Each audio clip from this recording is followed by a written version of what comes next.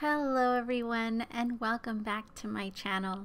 Today I have a different kind of video. I am doing my very first WIPs and myths and this is video number one. So a WIP first off is work in progress and today I just happen to be working on a diamond painting but in the future I will be switching it up every once in a while with other things that I'm in the mood to work on. So feel free to pull out something that you're working on and you can come and join me or you can just easily listen as well. Um, but definitely you can grab a snack because this is going to be hopefully a little a little long, but we'll see. I did put a poll up on my YouTube channel the other day asking what video format to record this in, and it was between the work with a seamless voiceover, which ended up getting the most votes, and it was against a few votes for one unedited cut. So thank you for everyone who voted, and it did really help me out by solidifying what I really wanted to do. I could switch up this format in the future too, but I think this is a great starting point for now, and we'll see how it goes. But let me go ahead and lay out the details on what I'm working on today before we get started. So I'm doing a diamond painting. It's called Harry Stained Glass and it's by Diamond Dots. This is a 20 by 28 inch uh, canvas and it's got 10 colors with one AB, which is Aurora Borealis. and You know, that extra sparkly stuff that makes them extra sparkly. The pen that I'm using is by Stacy Perrodin, and she is at Diamond Painting Pens on Facebook, and I was really happy with it. The needle minder is from Shine Shop Designs by Shine Like a Diamond. The containers I'm using are by Harbor Freights and that's basically the most part what I'm working with today. So I'm just going to give a quick intro and I won't be doing this every video but I wanted to explain where this idea is coming from. So what is this video about? What am I talking about today? I am planning to do this series of sort of whipping chats, so to speak, but in a story time telling myths instead of chatting since my life isn't anything like the real world or desperate housewives or keeping up with the Kardashians. I am not, I don't do anything. But I knew I wanted to do a sort of WIP and chat, maybe with a point of interest. And I got the idea from Bailey Sarian, which she does like true crime videos, and she's really big on YouTube. And then Robert Welsh, he does makeup usually, but he also does a series of ghost stories while he does his makeup. So I really enjoy both of those, and like I said, the idea kind of sprang from that but I didn't want to follow in their footsteps kind of a thing. I wanted to do my own, especially when there's so many like really good true crime, you know, videos and podcasts and stuff like that. And I like true crime, I like to listen to it, but it's not something I'm passionate about. And the ghost stories, I really love the ghost stories, but I just feel like that's his thing and I don't want to be like copycat status. So Uh, so one day I just was going through my books and I realized I had about four books about Greek mythology. And I just recently bought a fifth one and it just hit me that I really love Greek mythology. And since I was about to relive the stories and read these books again because I'm truly fascinated by it and they're some of my most favorite stories, there there are just so many and I don't really know all of them or I have forgotten them. So I figured since I wouldn't normally do a chat, I figured maybe I could retell stories and hopefully my love for mythology will show through and intrigue you to want to listen in and learn about the crazy, dreamy fantasy that people used to explain natural phenomenon. I'm going to be starting out with Greek mythology, or it's actually a bit of Greek mixed with Roman mythology from what I was reading, depending on the source I was reading it from. But depending how this all goes, I plan to venture into other regions. I've always wanted to read more about Egyptian mythology and Nordic with like Thor and Loki. So, if this is something you're interested in, leave me a comment below or a like so I know I'm going in the right direction with this. I mean, Greek has a lot, so it's going to take a bit to get through all the Greek stuff. But just like I said, just in case, I have a plan of action for the future. So these are the books that I'm using, and I'll try to link them down below if I can find them all. My newest is a small book, but I wanted it because it contains modern annotations, such as this one right here. It says, and I quote, Pegasus is one flying horse named Pegasus. Flying horses in general are not referred to as Pegasus or Pegasi. There is more than one flying horse in Greek mythology, but only one is called Pegasus. So it has some really cool little tidbits like that in it. And the writing itself is very sarcastic and hilarious. Um, so I'm really loving this little book. It's a great little kind of excerpt of each little story and uh, Olympian and everything like that. So I'm really happy that I picked this up. And the book itself is beautiful. It's got great artwork. The covers have like gold and it's just, it's stunning. It's a beautiful book. I will also leave the websites that I looked at for further information down below too, in case you would like to read any of that. I did pull bits and pieces that I really liked from the different sources that made the most dramatics, since there are so many retellings that they all kind of vary slightly. I am not, repeat, I am not a historian or have studied any of this. I am just a fangirl. So don't come for me if there is something completely off. I did do a bit of research so that I could fill in as much as I could from where each book was lacking. Um, so I that's where the web pages come in. But you know, we never know how 100% accurate things are on the internet. You shouldn't believe everything you read. I did try my best to get as much accurate information as I could, but I just, I don't know. So, also, one more side note I may or may not be pronouncing some or all of the names correctly. So, once again, just sorry about that as well.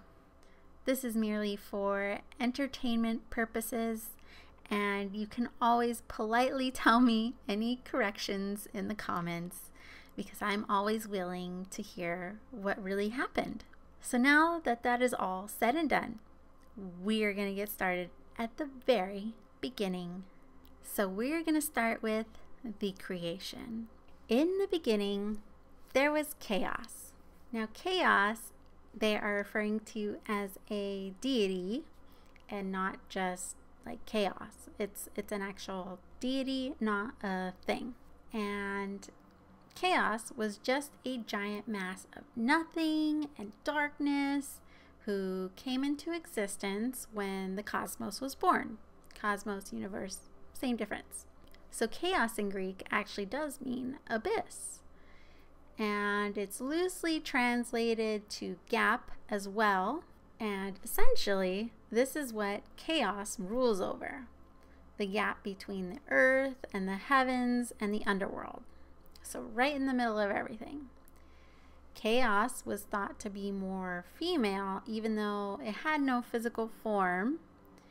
and she also played the role of fate. So, chaos, fate, I don't know about that, but apparently it worked out for the Greeks. So, later on in history, she is said to be the origin of everything. Everything being the elements, the earth, the water, air, fire. Okay, so she she pretty much is where everything comes from. Supposedly. And not long after chaos came to be, out springs Gaia. No one really knows how, if it was out of nothing, if she just was there, or if she maybe came from chaos. Chaos birthed her out or something, or created her. No one knows. But she is Earth, basically. And she's then followed by Tartarus, who is the underworld, and Eros, who is love. They are believed to be the very first generation of gods. For one reason or another, it didn't take long for Gaia to grow lonely. I don't know. I mean, she's new. You'd think she'd have like her family there that she can, well, I guess their supposed family to keep her company, but I think this is talking romantically now. And because next thing you know, she gets a bright idea that she's going to create someone to keep her company and ends up creating herself a husband. I mean, she's young, so, you know, when you're young, your hormones are raging. and, you know, you get that feeling where you need someone to be someone because you don't know who you are. So it makes sense. I can see it. She's she's she's young and dumb. And mistakes were made, which we'll get on to we'll get into that in a little bit. Her husband turns out to be Ouranos, aka Uranus. this should have already been a red flag right here. So I don't know how we don't see this next part coming. But Ouranos, he's the sky.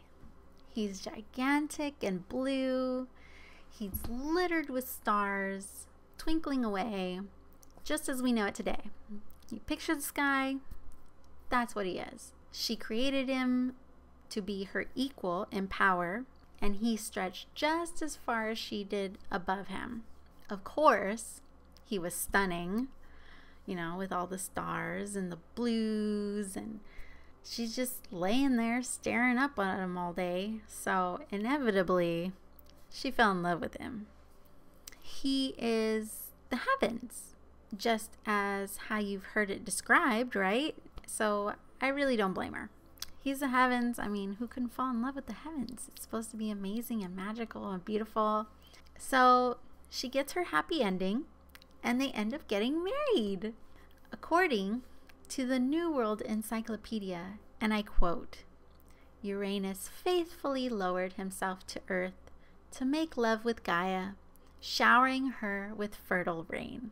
So romantic. Eventually, Gaia becomes pregnant and she gave birth to her first set of children thus giving her the name Mother Earth and Ouranos, Father Sky. Now, their first children were called the Titans, and they were also referred to as the Elder Gods. They were enormous, human like, supreme beings. Okay, so everything that makes the amazing amazing. They basically all look the same and the only difference was their names are what set them apart. So, I mean, I don't know how you would tell them apart, but they're different because of their names.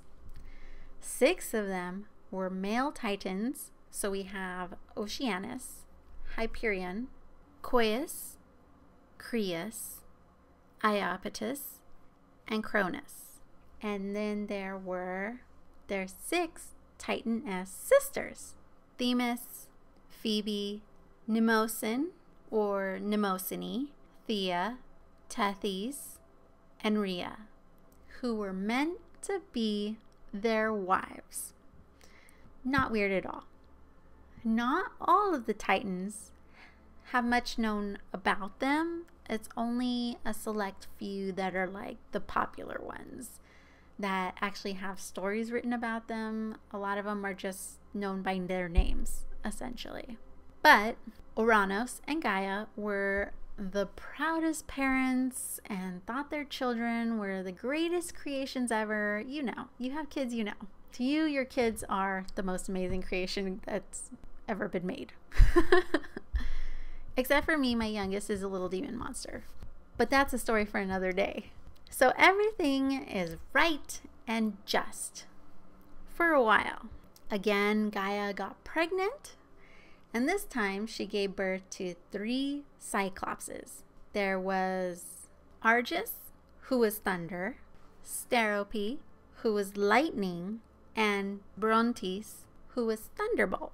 They were cyclopses, so they would be how you imagine them huge, with the one big eye in the middle of their foreheads. I always think of um, Sinbad when he's fighting the Cyclops. Is that what it is? And it's like a claymation. It's a very old movie. I just dated myself, but that's what I usually think of when I think of Cyclopses. So, Cyclopses loosely translate to mean round eye, and for the most part, they are super duper ugly. And Ouranos starts to show his true colors because he does not like that they're ugly. He just had 12 glorious, stunning kids, and now he's got these ugly ones. And he's just, I don't know, he's starting to sound super vain now. But I don't know, like, he's just over here, like, ugh, like, disgusting to his kids. I don't know. He's, he's, he's all, all of a sudden made a 180 180 direction here for being the heavens. So much for him being like heavenly. Well, the Cyclopses weren't useless. They were extremely talented blacksmiths, and it's said that when they worked, that they lit up the heavens and the sky with like lightning, and it was so bright and stunning, so much that even the stars lost their glow and like their radiance, and you couldn't really see them anymore. So this royally pisses off Ouranos now. So they're not sitting on his good side at all. The last set of children that Gaia gave birth to is the three Hecatonchires. Hecatonchires means hundred handed ones. There was Briareus, or Aegon, meaning the vigorous, Cottus, meaning the furious, and Gyges, meaning the big limbed. They were each born with a hundred hands and fifty heads. What? Why why an even number either? Like I would think that they would be like an odd number or like a half maybe or a quarter. But no, a hundred hands, fifty heads. Three of them. And they were the ones that caused earthquakes and huge giant sea waves. Now, if the Cyclopses were ugh, then to Ouranos, these guys were trash. He couldn't stand seeing these super disgusting things walking over the most beautiful Gaia Earth, right? He's like in love with Gaia, supposedly, and they're just, they're making her ugly. So he's like, nope. He at some point declares himself king of the cosmos, king of the universe, and he goes and takes matters into his own hands and scoops up the Hecatonchires and tosses them into Tartarus. And Tartarus is a deep and dark pit in the earth. And it's also been described as Gaia's uterus, which is weird because that's supposed to be her brother, right? I don't know how that works, but I'm telling you, there was different different parts of stories and different research. Yeah, I don't know. Tartarus, uterus, okay. Locks them up. He also throws the Cyclopses in after them and is glad to finally be done with them too.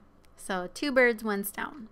So now we're remembering how Gaia was young and dumb and made mistakes. She's probably regretting the whole create a husband thing right now. Obviously, she didn't know him as well as she thought she did.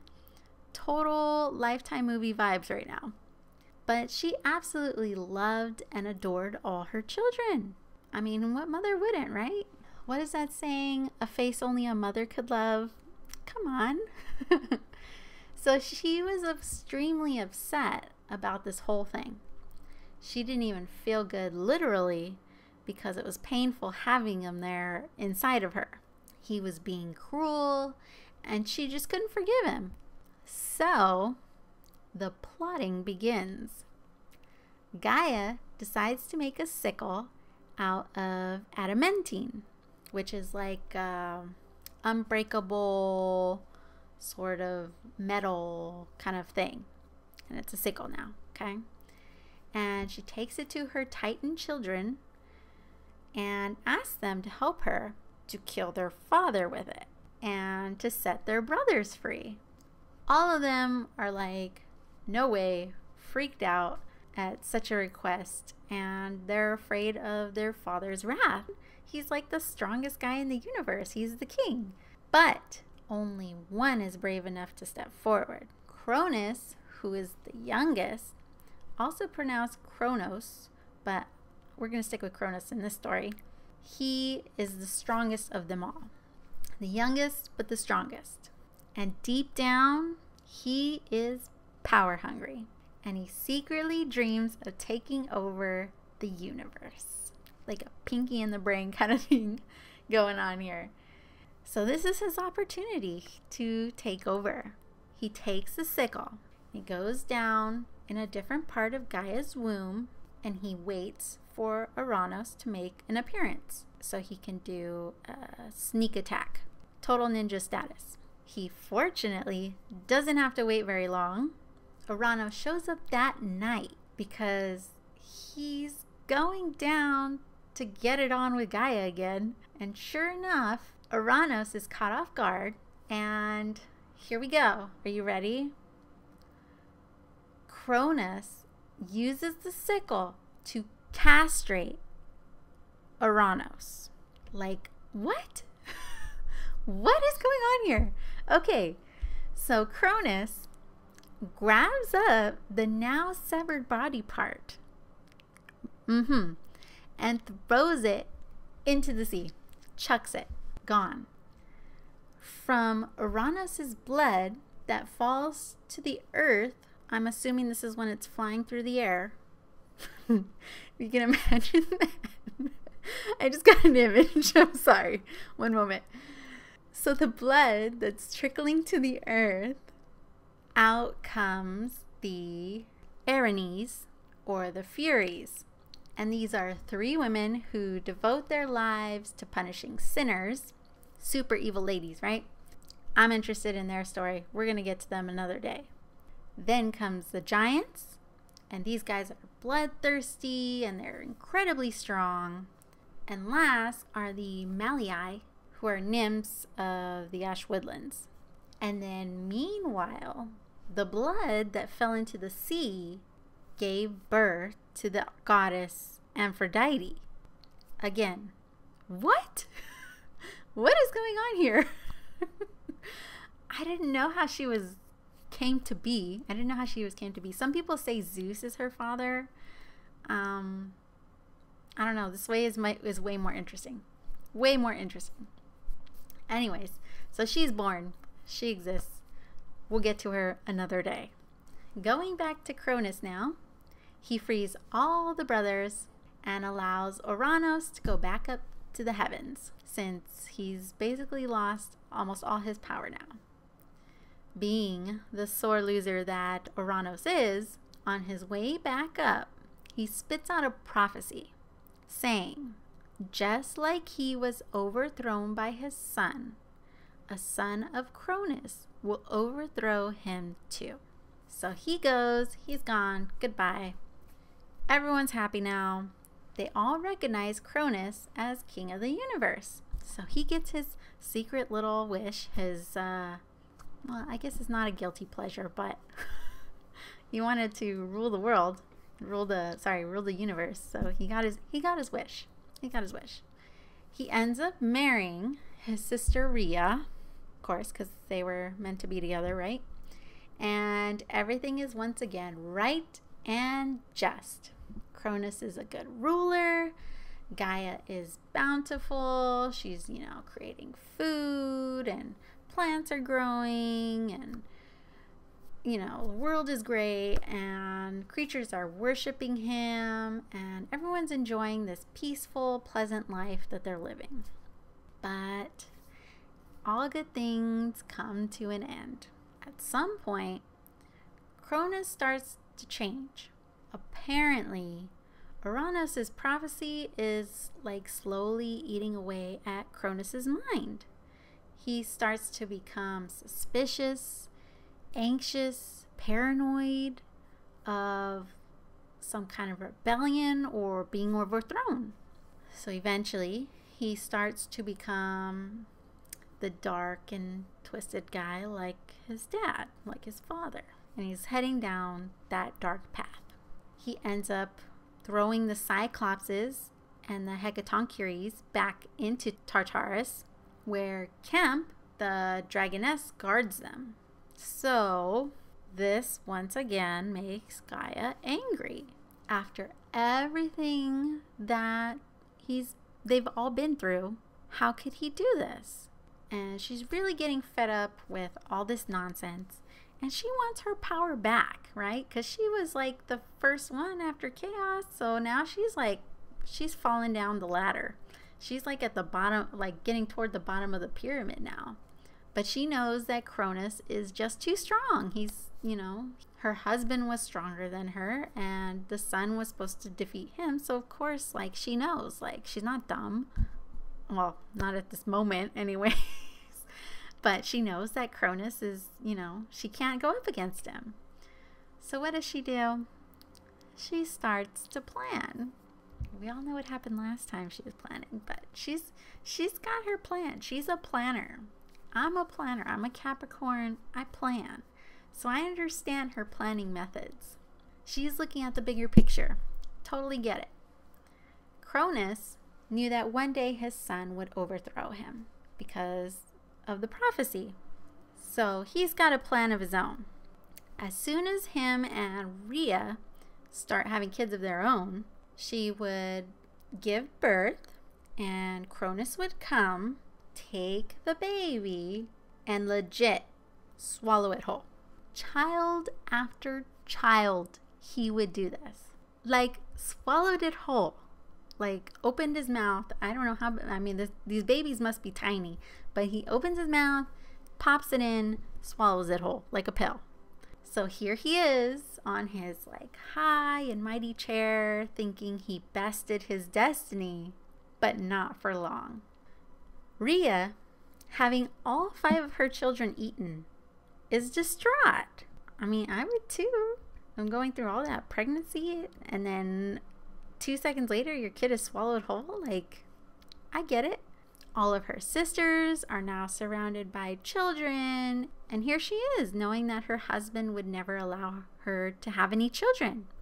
To live, anyways. She can have the children, they just wouldn't live very long.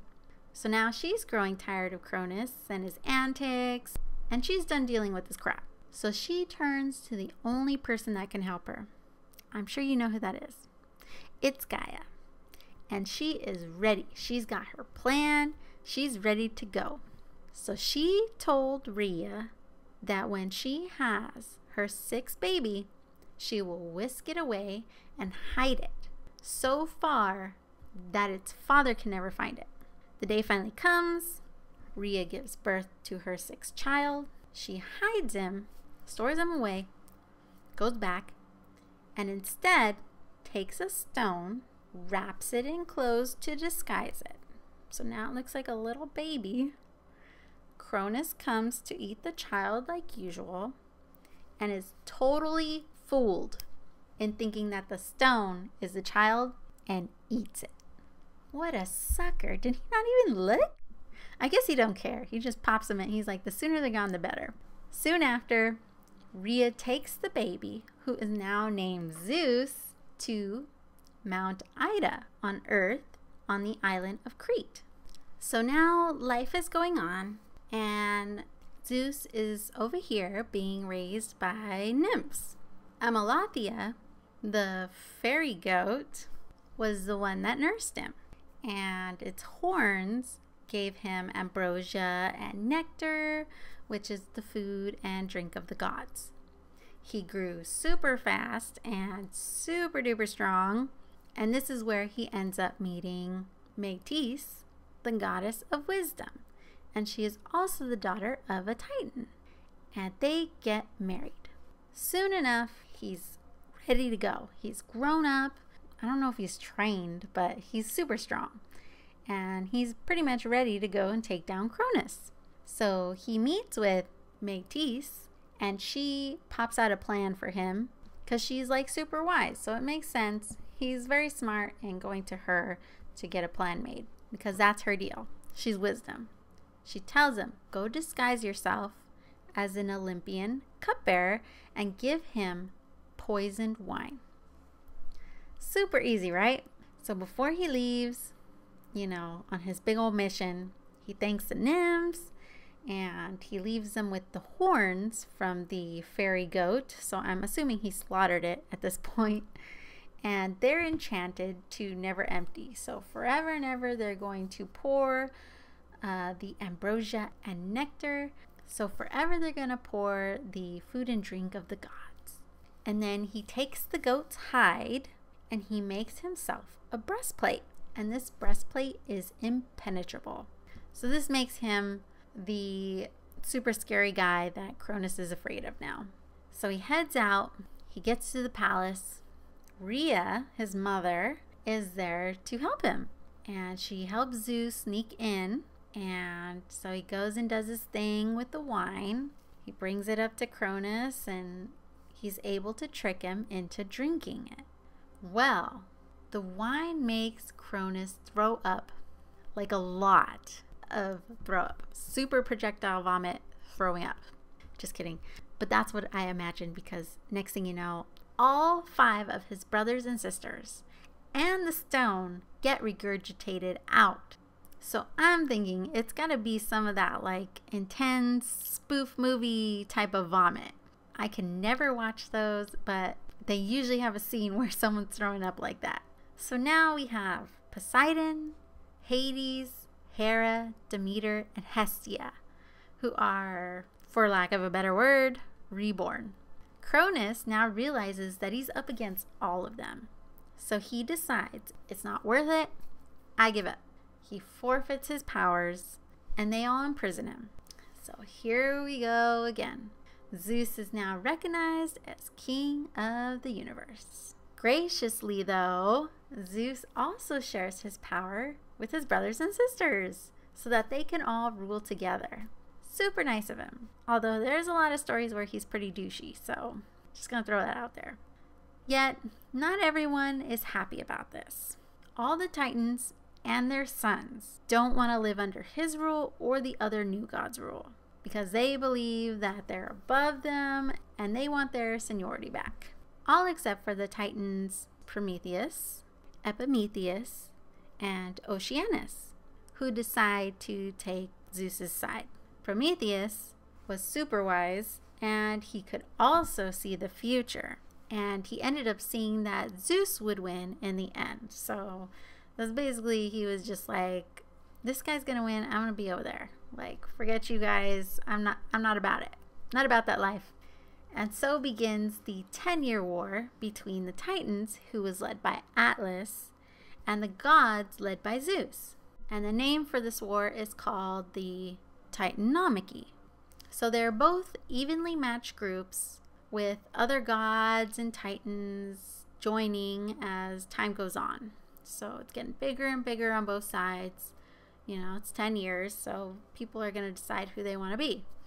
Gaia eventually intervenes with yet another plan I like this girl. She's consistent. and she's pretty certain that this will help the gods win, this plan that she has. So Zeus hears the plan out, agrees, heads over to Tartarus, fights and kills Campe, because remember Campe is the, the guard, the dragoness guard. He frees the Hecatonchires and the Cyclopses. So to show their gratitude, the Hecatonchires gave Zeus their strength by throwing things like mountains and, you know, big rocks because they're super strong. And the Cyclopses make weapons for Zeus and his brothers. So this is where Poseidon gets his trident that we all see him with. Hades gets a helmet of invisibility. And of course, this is when Zeus gets his signature thunderbolts, which makes him gain max level strength, right? So Zeus and the gods get back into the fight with their new allies, and they've got these cool weapons now, and they're led by Nike, who is the god of victory. I did not know that. Fun fact I had no idea that Nike was a Greek god, and the meaning makes a lot of sense for the company now. That's pretty smart. I like that. So, thunderbolts and mountains, they're going everywhere, right? Flying, craziness, all out war. In the end, supposedly, on one of the days, Hades wore his helmet of invisibility and snuck into the Titans' home base on Mount Othrys, where he destroyed all their weapons and armor. So, conveniently, without them, the Titans couldn't fight anymore, and the war ended. Afterwards, all of the male Titans were sent to Tartarus, minus, you know, Prometheus Epimetheus and Oceanus, obviously. And all the female Titans weren't involved, so they were good. They were just living their best lives. New gates were created by Poseidon and the Cyclopses to keep them trapped there, and Hecatoncheires were given the job to guard them since they're uber duper strong. Only Atlas got a special punishment because he was the leader of the Titans. And Zeus just had it out for him, I guess. So he pretty much makes Atlas hold up the sky on his shoulders for all eternity. Pretty ruthless, and it's even funnier knowing that it's Ouranos that he's holding up. So we all know the guy holding the world on his back, on his shoulders. So now that the war is over, the gods move their home base to Mount Olympus, which is the highest mountain in Greece. And everyone who lives there is now called an Olympian. The Cyclopses also moved up there and they made tons of forges in the volcanoes. And that's where they spent all of their days being craftsmen. So Zeus and his brothers Poseidon and Hades, they divide up the universe between them using none other than the method of drawing straws. so Zeus, of course, wins. Didn't see that coming. And he becomes the king of the sky and the mortals and the gods. Poseidon got to be the ruler of the seas. And Hades, who unfortunately is a loser in the straw game because he drew the smallest straw, becomes Lord of the Underworld. So Zeus's allies were also rewarded. Oceanus was able to keep his position as the god of fresh water. Prometheus and Epimetheus were given a very important job. They were to bring life to Earth, aka humans. I don't know if it's specifically like they made the human or they brought the life to humans Either way, they they had a big hand in the making of humans. So not so bad. Not a bad turnout. And Styx, who was also an ally during the war, he made her a super powerful river goddess whose name was used in unbreakable oaths and all of her children that she will have will have very high positions on Mount Olympus. In the end, there's always one person who's never happy and has to ruin it for everyone else. Gaia. I know you forgot about her, but now she's happy that her sons were released from Tartarus, but she is also angry because they were just replaced with her other sons. So she ends up sleeping with her brother, Tartarus, and births a monster. Yes. I know. This one is the worst. Makes sense. And he's the most horrible looking one yet. Makes sense. The monster's name was Typhon, the father of all monsters. And he was described as a fire breathing dragon, but not an ordinary dragon. He has a hundred heads that could touch the stars. His creepy eyes dripped venom, and he had a gaping mouth that lava poured from. On top of his main head, he had a hundred snake heads that would each make animal sounds. He had the torso of a man and was covered in hundreds of different wings. His hands and legs were coils upon coils of vipers, although in some versions it says his legs were two vipers. But I think the coils and coils of vipers is much more dramatic. The creature then heads to Mount Olympus, where he freaks everybody out. Everyone is terrified of what they are seeing. They all make a run for it. I would too. That sounds I can't even imagine what this guy looks like. I can, but I can't. I can't I can't believe it's real. But I guess it's not. So it doesn't matter. Typhon starts to tear up the mountain, trying to destroy everything. Zeus, who is the big badass that he is, believes that he can take him on. Although in some stories, Athena supposedly calls him a coward, and this makes him man up and take on Typhon. And I believe that more than him just like being I'm high and mighty. I think he probably ran off. Either way, he enters a giant battle with Typhon, it nearly wipes out almost all the living creatures on Earth. Typhon goes and tears up a huge mountain named Mount Etna.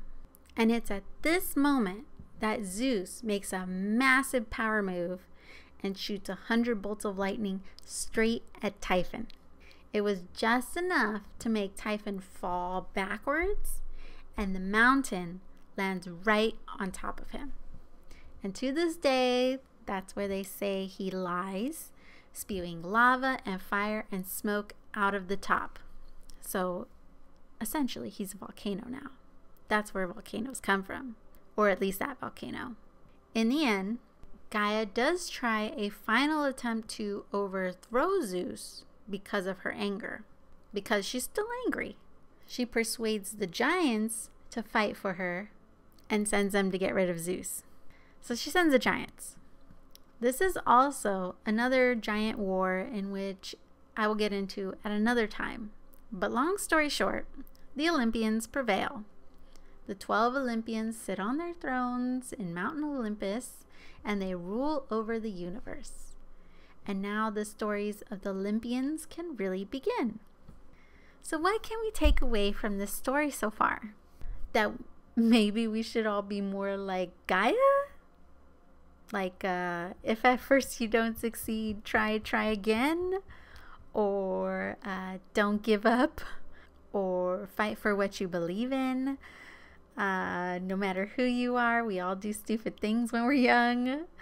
The perfect man, woman doesn't exist. And that's okay. But I will leave that here. In my next WIPs and Myths, I will be diving into the 12 Olympians and their backstories, since that's where all the books I have and the interwebs uh, get straight into after the creation. So, if you really enjoyed this, I hope you come back for number two. I don't know if I'm going to be doing this every like two weeks, maybe. I'm not sure yet, but I definitely want to keep them pretty consistent. It just takes a bit to do all the research and type everything out. So I'm thinking every two weeks, but we'll see. If I can get it sooner, I will try to.